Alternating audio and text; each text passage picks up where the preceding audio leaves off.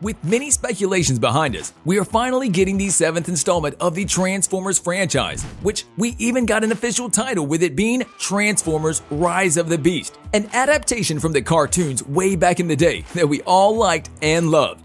And today, we are going to take a first look at the movie and see where things are at this moment. In the upcoming seventh movie from the franchise, the time has finally come for the Optimus Primal, the G1 Autobot, to hit the big screen.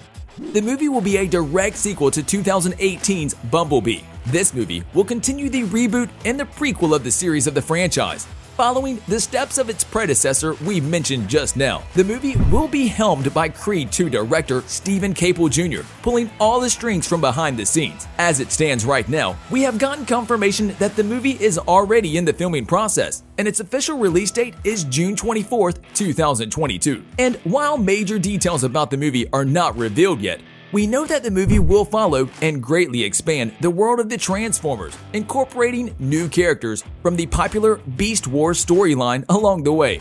As for the trailer side of things, we're in the unknown, as there has not been revealed anything so far. No teaser, nothing. The only thing we managed to find out are some pictures that Steven shared on his Twitter account, with some of the robots depicted in their car models and the supposed location of these vehicles on the images being taken somewhere in Peru one of the locations where the movie will take place. Considering the release date of the movie, we should be getting a teaser trailer very soon. So keep one eye open at all times. You do not want to miss it.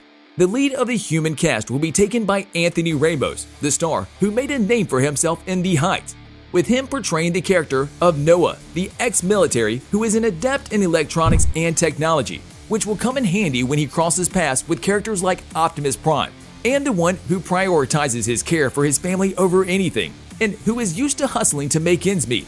Dominique Fishback is also in the mix, with her portraying the role of Alina, who is an artifact researcher who will be working at a museum when we first meet her. Ron Perlman will reprise his role in the movie as the leader of the Maximals, lending his voice for the second time after his first adventure with the franchise in the animated series Transformers Power of the Primes. Other returning cast member lending his voice is the legendary Peter Cullen, voicing Optimus Prime, yet again in his G1 look.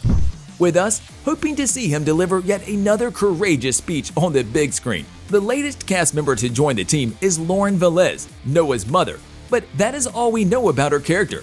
We are still not quite sure how big of a role she will have in the movie. Many fans want to know whether John Cena will reprise his role as Jack Burns from Bumblebee. And while there has been no official confirmation, Cena said that he would be up for a return to the franchise after the success that the first movie had. During a virtual presentation from Paramount, director Steven Caple Jr. was not shy to share some story details about the plot of Transformers Rise of the Beast. The action of the movie will go between New York and Machu Picchu, expanding the universe of the Transformers beyond the Autobots and the Decepticons, with his movie introducing new robot groups to the mix the Predacons, the Maximals, and the Terrorcons with the first two being prehistoric time traveling robots.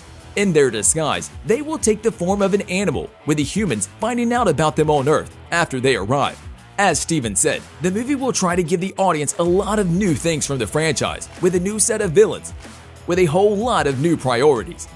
The fans of the franchise who have not seen the animated series from back in the day will have a lot of new things to see. New Autobots and villains like they have never seen before. Ramos and Alina will be the two who will somehow find themselves caught up in the conflict between beast tribes that we are having in the movie. So it will be an interesting thing to have a little more sense of their characters in the upcoming movie.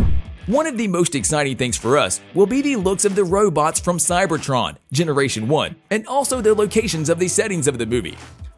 So, all in all, knowing that the movie will follow closely how Bumblebee was going in terms of story, we should be getting something new, something fresh, which we all love and will remember for a long time afterward.